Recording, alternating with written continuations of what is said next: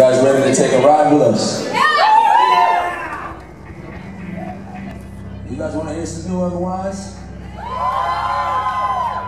You guys know new otherwise. You, you have peace at all costs. Do you want peace at all costs? Because that's what we're looking